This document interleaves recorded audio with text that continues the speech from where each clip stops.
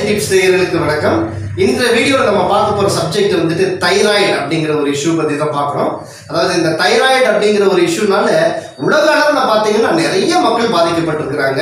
அதில் வந்து குறிப்பாக சொல்லப்போனால் பெண்கள் பெரும் அளவில் பாதிக்கப்பட்டிருக்கிறாங்க. ஸோ இந்த தைராய்டு கிளாண்ட்னா என்ன? அந்த தைராய்டு ஏன் வருகிறது? அது அதனால வரக்கூடிய அதனுடைய ஃபங்க்ஷன்ஸ் என்ன? அதனால வரக்கூடிய அந்த ஹெல்த் இஷ்யூஸ் என்ன? மேலும் அதற்கு ஒரு ஈஸியான தீர்வு என்ன? அப்படிங்கிறத பற்றி தான் நம்ம இந்த வீடியோவில் வந்துட்டு விளக்கமாக பார்ப்போம். அதுக்கு நீங்கள் இந்த வீடியோவை வந்து ஸ்கிப் பண்ணாமல் முழுமையாக பாருங்கள் மேலும் நியூ வியூவர்ஸ் வந்துட்டு என்னுடைய சேனலை சப்ஸ்கிரைப் பண்ணி பக்கத்தில் இருக்கிற பெல் ஐக்கானை வந்துட்டு ப்ரெஸ் பண்ணிட்டீங்கன்னா என்னுடைய ஆல் வீடியோஸ் வந்து உங்களுக்கு நோட்டிஃபிகேஷன் வரும். என்னுடைய எல்லா ஹெல்த் ரிலேட்டட் வீடியோஸ் வந்து நீங்கள் மிஸ் பண்ணாமல் பார்க்கலாம். வாங்க நேயர்களே நாம் வந்து இந்த தைராய்டு அப்படிங்கிற இஷ்யூ பற்றி நம்ம இப்போ பார்ப்போம்.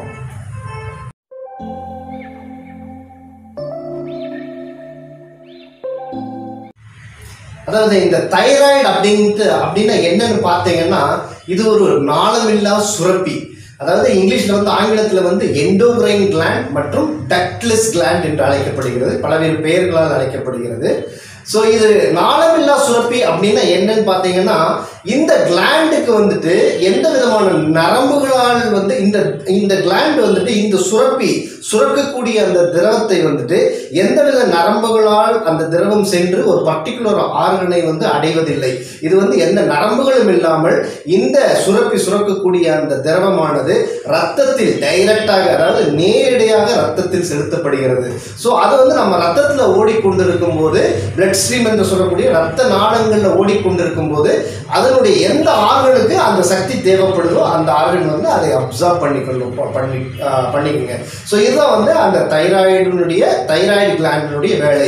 ஸோ இந்த தைராய்டு கிளாண்ட் எப்படி இருக்குன்னு பார்த்தீங்கன்னா இது வந்து ஒரு அழகான பட்டாம்பூச்சி அதாவது வண்ணத்து பூச்சி பட்டர்ஃப்ளை மாதிரி ஒரு அழகான ஷேப்பில் இருக்கும். இதனுடைய வெயிட் பார்த்தீங்கன்னா ஒரு ஃபிஃப்டீன் டு டுவெண்ட்டி கிராம்ஸ் தான் ஒரு சின்ன ஒரு எடையை கொண்டதான் ஸோ இதனுடைய லொக்கேஷன் நம்ம உடம்புல இந்த தைராய்டு கிளாண்ட் எங்கே இருக்குதுன்னு பார்த்தீங்கன்னா கரெக்டாக இந்த கழுத்தில் வந்தீங்கன்னா இந்த ஆடாம் ஆப்பிள் அதாவது அந்த ஒரு ஒரு எலும்பு மாதிரி இருக்கிறது இல்லைங்களா? இது ஆடாம் ஆப்பிள் என்று சொல்வார்கள்.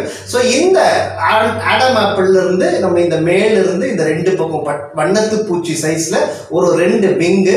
அந்த விங்கு வந்து ஒரு வண்ணத்து பூச்சி மாதிரி இந்த அப்படி முடிவடையும் இந்த சைடில் இருந்து.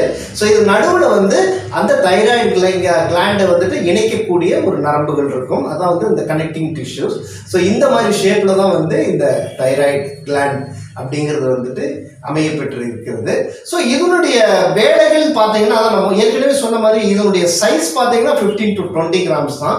ஸோ பட் இதனுடைய செயல்கள் வந்து மிக மிக ஒரு உன்னதமான செயல்களையும் நமது உடலுக்கு மிகப்பெரிய விஷயத்தை தரக்கூடிய ஒரு ஆரோக்கியமான செயல்களை செய்யக்கூடியதாக அமைந்திருக்கிறது. ஸோ இப்போ இந்த தைராய்டு கிளாண்டுடைய ஃபங்க்ஷன்ஸ் வேலை என்னன்னு பார்த்தீங்கன்னா பலவிதமான முக்கியமான வேலைகளை வந்து செய்யக்கூடியது. இதில் நம்ம முக்கியமான ஒரு சில விஷயங்களை பற்றி நம்ம பார்ப்போம்.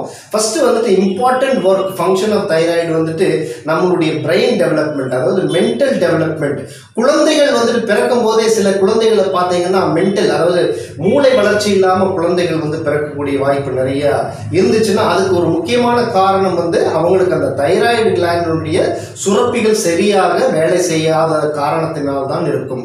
ஸோ இந்த பிரெயின் டெவலப்மெண்ட் அது மென்டல் டெவலப்மெண்ட் வந்துட்டு இந்த ஒரு தைராய்டு கிளைண்ட் வந்து ரொம்ப முக்கியமான ஒரு அங்கமாக வகிக்கிறது ஸோ அடுத்த ஃபங்க்ஷன் பார்த்தீங்கன்னா நம்மளுடைய மெட்டபாலிசம் மெட்டபாலிசம்னா வளர்சிதை மாற்றத்திற்கு வந்துட்டு நம்மளுடைய அந்த கெமிக்கல்ஸ் அந்த மெட்டபாலிசம் வந்து பிரெயினுக்கு வந்து எடுத்துட்டு போகிறது அந்த ஹார்மோன்ஸ் தான் வந்துட்டு அந்த சமிக்ஞைகளை அந்த இன்ஃபர்மேஷனை வந்து கொண்டு போய் சேர்க்கக்கூடிய வளர்சிதை மாற்றம் அப்படிங்கிற மெட்டபாலிசத்தை வந்துட்டு முக்கியமாக வந்து செய்யக்கூடியது இந்த தைராய்டு கிளாண்டு அடுத்தது பார்த்தீங்கன்னா நம்மளுடைய ஸ்கின் ஸ்கின்னை மெயின்டைன் பண்ணுறது நம்மளுடைய ஓவரியை மெயின்டைன் பண்ணுறது அதில் வந்து ஒரு பெரும்பங்கு வந்து இந்த தைராய்டு கிளாண்டினுடையது முக்கியமான வேலை என்னன்னு பார்த்தீங்கன்னா நம்மளுடைய பாடி டெம்பரேச்சர் அதாவது எந்த எந்த டெம்பரேச்சர் நம்ம பாடி இருக்கணுமோ அதை டெம்பரேச்சரை மெயின்டைன் பண்ணக்கூடிய வேலை வந்து இந்த தைராய்டு கிளாண்ட் தான் செய்யக்கூடியது.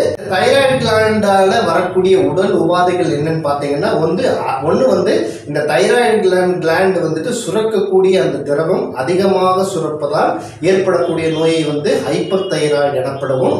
இந்த தைராய்டு கிளாண்ட் கம்மியாக அந்த திரவத்தை சுரந்தால் அது ஹைப்போ தைராய்டும் தைராய்டு எனப்படவும் அழைக்கப்படுகிறது ஆங்கில மருத்துவத்தில். மேலும் இது வந்து என்லார்ஜ்டு அதாவது இது வந்து ஒரு தைராய்டு வந்து ஒரு கட்டியாக மாறினால் அதை கொய்டர் என்று அழைப்பார்கள். ஸோ நம்ம இந்த சிம்டம்ஸ் பற்றி பார்ப்போம். இந்த ஹைப்பர் தைராய்டு அதாவது இந்த தைராய்டு வந்து சுரப்பி வந்து அந்த திரவத்தை அதிகமாக சுரப்பதனால் என்னென்னலாம் விளைவுகள் ஏற்படும்? இந்த உடலில் வந்து என்ன விளைவுகள் ஏற்படுங்கிறத பற்றி பார்ப்போம். உடல் அதாவது ஹைப்பர் தைராய்டு இருக்கிறவங்க வந்து உடல் மெலிந்து காணப்படுவார்கள். ரொம்ப அதாவது திடீர்னு ஃபார் நோ ரீசன் எந்த விதமான ரீசனும் இல்லாமல் அவங்களுடைய உடல் வந்து மெலிந்து கொண்டே போகும். கண்ணு பார்த்தீங்கன்னா அப்படி வெளியில் வந்திருக்கும். அதை கரெக்டாக நீங்கள் கண்டுபிடிக்கலாம். சிலருக்கு வந்து இந்த கண்ணாமொழி வந்து வெளியில் வந்திருக்கும். பிதுங்கி வந்துட்டு வெ- வெளியில வந்த மாதிரி விழுகிற மாதிரி சிலருக்கு தோணும். அவங்களுக்குலாம் வந்து ஹைப்பர் தைராய்டு தைராய்டு வந்து அதிகமாக இருக்குதுன்ட்டு அர்த்தம் அது. ஸோ கண்ணு வந்து வெளியில வந்திருக்கும். பெண்களுக்கு வந்து இர்ரெகுலர் பீரியட்ஸ் இருக்கும். முடி வந்து அதிகமாக கொட்டும். மேலும் வந்துட்டு நகம்லாம் வந்து வெடி வெடிப்பு மாதிரி இருக்கும் அவங்களுக்கு. ரொம்ப ரெண்டு ரெண்டுக்குமே ஒரு காமனான விஷயம் என்னன்னா ரொம்ப சோர்வாக ஃபீல் பண்ணுவாங்க.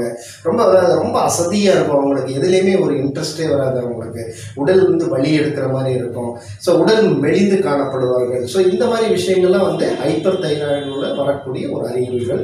அதே மாதிரி ஹைப்போ தைராய்டு வந்து உடல் அதாவது இந்த தைராய்டு வந்து குறைவாக சுரப்பதனால் ஏற்படக்கூடிய உடல் அறிகுறிகள் என்னன்னு பார்த்தீங்கன்னா உடல்.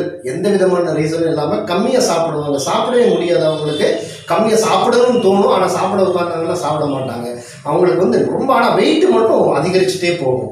நல்லா ரொம்ப ஒபேசிட்டியில் வருவாங்க தைரா அந்த மாதிரி இருக்கிறவங்களுக்கு நீங்கள் கண்டிப்பாக வந்து அவங்க ஒரு ஹைப்போ தைராய்டில் இருக்கிறாங்கன்னு ஒரு அர்த்தம். ஸோ உடல் எடை அதிகரித்தல் திடீரென்று மேலும் உடல் அசதி சோர்வு தூக்கமின்மை தூக்கமே வராது அவங்களுக்கு. ரொம்ப தூக்கமின்மையால் ரொம்ப கஷ்டப்படுவாங்க அவங்க எந்த விதமான அந்த தூக்கமின்மையால் ஏற்படக்கூடிய பலவிதமான உடல் உபாதைகள்.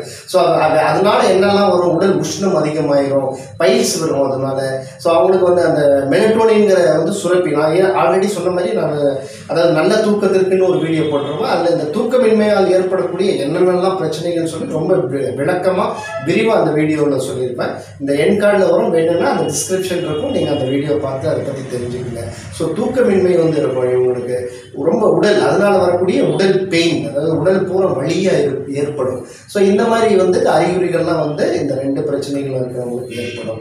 ஸோ இதுக்கு காரணம் என்னன்னு பார்த்தீங்கன்னா முக்கியமான காரணம் வந்துட்டு என்னன்னா அந்த அந்த ஒபேசிட்டி குளோரைடு அப்படின்னு சொல்லக்கூடிய ஒரு அந்த கெமிக்கலை வந்து இருக்கக்கூடிய அந்த பர்பஸை அதாவது பேஸ்டாக நீங்கள் பல் விளக்குவதனாலும் மேலும் அந்த மாதிரி ஃப்ளோரைடு வந்துட்டு ஆட் பண்ணின தண்ணீரை வந்துட்டு நீங்கள் குடிப்பதனாலும் இந்த தைராய்டு கிளாண்டு வந்து உங்களுக்கு வேலை செய்யறது கம்மி. அதனுடைய இயக்க சக்தி வந்து குறைந்து விடும் அதனால வந்து அதனுடைய அது சம்பந்தப்பட்ட பிரச்சனைகள் வந்து உங்களுக்கு வரும். மேலும் வந்து அதற்கு அதுக்கு ஒரு முக்கியமான அடுத்த ஒரு முக்கியமான காரணம் என்னென்னு பார்த்தீங்கன்னா அவங்களுடைய உடற்பயிற்சி அதாவது உடல் உழைப்பின்மை எந்த விதமான உடல் உழைப்பு உழைப்பும் இல்லாமல் ஒரே இடத்துல உட்காந்து வேலை செய்கிறவங்க அதை விட ஒரு முக்கியமான காரணம் என்னென்னு பார்த்தீங்கன்னா உங்களுடைய ஸ்ட்ரெஸ் அண்ட் டிப்ரெஷன் மனச்சோர்வு அதிகமாக இருக்கிறவங்களுக்கும் வந்து உங்களுடைய மன அழுத்தம் அதிகமாக இருக்கிறவங்களுக்கும் இந்த தைராய்டு வரக்கூடிய வாய்ப்புகள் வந்து ரொம்ப அதிகமாக இருக்கிறது.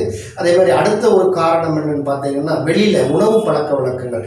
வேண்டாத உணவுகள் வந்துட்டு நம்மளுடைய அதாவது fast food baked food junk food அதாவது coloured food deep fried items இந்த மாதிரி உணவு வகைகள்லாம் வந்து அந்த அதாவது இயற்கை செயற்கையான வந்து அயோடின் வந்து சேர்க்கப்பட்டிருக்கும். இந்த செயற்கையான வந்துட்டு சோடியம் வந்துட்டு சேர்க்கப்பட்டிருக்கும். அதனால வந்து இந்த தைராய்டு ப்ராப்ளம் வரக்கூடிய வாய்ப்புகள் வந்து ரொம்ப அதிகமாக இருக்கிறது. மேலும் ஸ்மோக்கிங் ட்ரிங்கிங் இந்த ஹேபிட்ஸ் இருந்தாலும் வந்து உங்களுக்கு தைராய்டு இஷ்யூஸ் வரக்கூடிய வாய்ப்புகள் அதிகமாக இருக்கிறது. ஸோ இதெல்லாம் காரணங்கள் நம்ம சொல்லலாம். ஸோ இதுக்கு வந்து என்ன மாற்று தீர்வுகள்? இந்த தைராய்டை வந்து நம்ம நிறுத்துறதுக்கு வந்துட்டு என்னென்னலாம் தீர்வுகள் அப்படின்னு பார்த்தீங்கன்னா again you have to reverse நான் சொன்ன விதத்திலிருந்து நீங்கள் அந்த உணவு பழக்க வழக்கங்களை வந்து நீங்கள் மாற்றிக்கணும் கண்டிப்பாக அது வந்து ஒரு முக்கியமான ஒரு விஷயம். நீங்கள் உணவு தான் அதாவது உணவே மருந்து அப்படின்னு சொல்கிற மாதிரி நம்மளுடைய உணவில் தான் நீங்கள் எல்லாமே இருக்குது. ஸோ எந்த விதமான உணவுகள் நீங்கள் சாப்பிடணும்? நல்ல கீரை வகைகள் காய்கறிகள் பசலைக்கீரை முருங்கைக்கீரை மேலும் இந்த விட்டமின் சி அதிகமுள்ள மாதுளம்பழம் நெல்லிக்காய் ஆரஞ்சு இந்த மாதிரி பழ வகைகள் அதிகமாக எடுத்துக்கணும். மேலும் வந்து அது மற்றபடி நீங்கள் அவாய்ட் பண்ண வேண்டியது நான் ஆல்ரெடி சொன்ன மாதிரி அந்த baked food coloured food packing பண்ண ஆல்ரெடி வந்து குக் பண்ணி வச்சுருக்கிற ஃபுட்டு ஸோ இந்த மாதிரி உணவுகள் ஜங்க் ஃபுட்டு ஃபாஸ்ட் ஃபுட்டு இந்த மாதிரி உணவுகள்லாம் நீங்கள் வந்து அவாய்ட் பண்ணலாம். கண்டிப்பாக யோகா வந்து மிகப்பெரிய ஒரு தீர்வாக இருக்கும். யோகாவில் வந்து நான் ஆல்ரெடி நான் வந்து இதுக்குன்னே செப்பரேட்டாக ஒரு வீடியோ போட்டிருக்கிறேன் நான். நீங்கள் அந்த யோகாவில் ஸ்பெஷலாக வந்து சர்வாங்க ஆசனம் மேலும் இன்னொரு ஆசனம் வந்து மச்சேந்திர ஆசனம். இந்த ரெண்டு ஆசனம் வந்துட்டு நீங்கள் வந்துட்டு இந்த தைராய்டு ப்ராப்ளமுக்கு வந்து மிக மிக ஒரு அருமையான தீர்வாக அமையக்கூடியது. அது அதை விட்டீங்கன்னா அடுத்தது வந்து நீங்கள் பிராணாயாமம் பண்ணணும். பிராணாயாமத்தில் வந்து தீர்க்கப்படாத நோய்களே இல்லைன்னு சொல்லலாம். இந்த யோகாவும் பிராணாயாமம் ஒன்றோடு ஒன்று இணைந்த ஒரு ஒரு ஒரு விஷயமாகும். ஸோ இந்த ரெண்டே வந்து நீங்கள் பிராணாயாமத்தை செஞ்சுட்டு வரலாம். ஸோ இதெல்லாம் வந்து ஒரு நல்ல ஒரு தீர்வை கொடுக்கக்கூடியது உங்களுக்கு. அடுத்ததாக வந்து நீங்கள் இன்னொரு விஷயம் வந்துட்டு நான் ஒரு அதாவது ஒரு புள்ளியை பற்றி சொல்கிறேன் நான். இந்த அக்குப்பஞ்சர் புள்ளி. அக்குப்பஞ்சர் புள்ளி வந்து ரொம்ப அருமையான ஒரு புள்ளி இது. இது ஸ்பெஷலாக இந்த தைராய்டு ஹைப்பர் தைராய்டாக இருந்தாலும் சரி அல்லது ஹைப்போ தைராய்டாக இருந்தாலும் சரி இந்த புள்ளியை நீங்கள் அழுத்தம் கொடுத்து வந்தீங்கன்னா இதுலேயும் வந்துட்டு உங்களுடைய அந்த அதனுடைய இயக்க சக்தி வந்து அதிகரிக்கப்பட்டு அதனுடைய சுரப்புத்தன்மை விற்கப்படும் ஸோ அந்த புள்ளி என்னன்னு பார்த்தீங்கன்னா லார்ஜ் இன்டெஸ்டின் எயிட்டீன் என்று அழைக்கப்படுகிறது. ஸோ அந்த புள்ளி எங்கே அமைந்திருக்கிறது அப்படின்னு பார்த்தீங்கன்னா ஸோ இந்த கழுத்தில் வந்து நீங்கள் இப்படி நேராக வந்தீங்கன்னா ஸோ இந்த இடத்துல அதாவது இந்த நம்ம ஆடம்பான் என்று சொல்லக்கூடிய இந்த பாயிண்ட்ல இருந்து இந்த அந்த மேடான ஒரு எலும்புலேருந்து நீங்கள் நாலு விரலை நாலு அதாவது மூணு சுரண் சுண் அப்படின்னு சொல்லுவாங்க. அதாவது நாலு விரல் இப்படி வச்சீங்கன்னா இந்த இடத்துல வந்து உங்களுடைய கட்டை விரலையோ அல்லது உங்களுடைய ஆள்காட்டி விரலையோ வைத்து ஒரு டுவெண்ட்டி ஒன் டைம்ஸ் வந்துட்டு நீங்கள் ஒரு கிளாக் வைஸ் அப்புறமா வந்து ஒரு டுவெண்ட்டி ஒன் டைம்ஸ் வந்து ஆன்டி கிளாக் வைஸ் வந்துட்டு நீங்கள் இந்த புள்ளியை வந்து அழுத்தம் தரலாம். அப்போ உங்களுடைய தைராய்டு அப்படிங்கிற ஒரு சுரப்பி வந்து ஒரு அதனுடைய இயக்க சக்தி வந்து மேல் அதிகரிக்கப்பட்டு அது ஒரு நல்லா வேலை செய்ய ஆரம்பிக்கும். அது நல்லா வேலை செஞ்சிச்சுனாவே உங்களுடைய அந்த அந்த சுரப்பி வந்து சுரக்கக்கூடிய அந்த திரவம் வந்துட்டு நல்லா கரெக்டான அதாவது சரிசமமான சரியான விகிதத்தில் சுரக்கப்படுவதால் இந்த தைராய்டு அப்படிங்கிற ஒரு பிரச்சனையிலேருந்து நீங்கள் வெளியில் வந்துடலாம். மேலும் இந்த இந்த இடத்த வந்து நீங்கள் இதை ஒரு மசாஜும் பண்ணலாம். இந்த அந்த தைராய்டை வந்து இந்த ரெண்டு விரலையும் வச்சுட்டு நீங்கள் இப்படி ஒரு சின்ன ஒரு மசாஜ் கொடுக்கலாம் கழுத்துக்கு.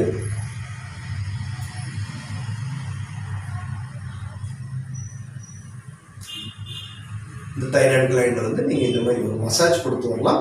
மேலும் இதுக்கு இன்னொரு அதாவது கழுத்து எக்ஸசைஸ் நெக் எக்ஸசைஸ் என்று சொல்லக்கூடிய தலையை வந்து கீழே எடுத்து மெதுவாக இந்த இந்த எக்ஸசைஸ் வந்து நீங்கள் மெதுவாக செய்யணும். நேராக உட்கார்ந்து கொண்டு மெதுவாக தலையை வந்து கீழும் மேலும் கீழுமாக ஒரு பத்து முறை.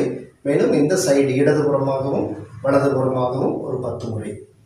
ஸ்லோவாக ப்ரீத்திங் வந்து மெதுவாக மெதுவாக இருக்க வேண்டும் இந்த சமயத்தில் ஏன்னா இது வந்து நம்மளுடைய செருக்களுக்கு கொடுக்கக்கூடிய ஒரு கழுத்து பயிற்சியாகும்.